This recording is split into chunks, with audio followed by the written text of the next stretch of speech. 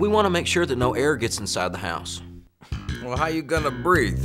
No, we're talking about keeping the house energy efficient. You do use some kind of house wrap, don't you? Sure we do. And then when we're done, we put a big bow on the roof. Happy birthday. Putting a big bow on your house before you move in is fine, but you need to wrap the house before you ever put the exterior siding on the home because you can lose a lot of money if it's not wrapped properly. What happens is wind blows and it hits the exterior siding on your house. It'll go through that siding and get around it no matter what kind you use.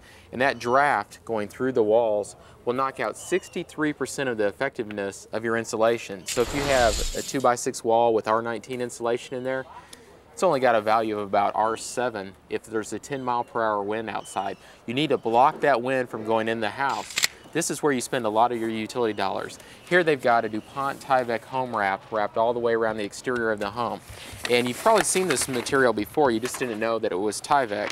What they use it for is FedEx envelopes, and the reason why is you cannot tear it apart and water can't get inside. And that's the beauty of this product, as well as blocking off the air, it blocks off the moisture as well.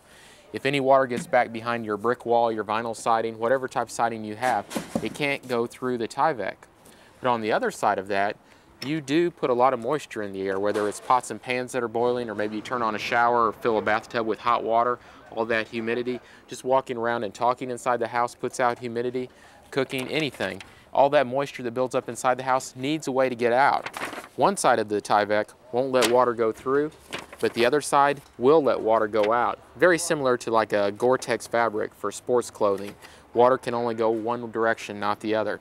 So you're blocking air and water. And if you look at a house a little smaller than this, this one's 21,000 square feet, but talk about a 2,000 square foot house, more typical home. It has a half a mile of cracks in it.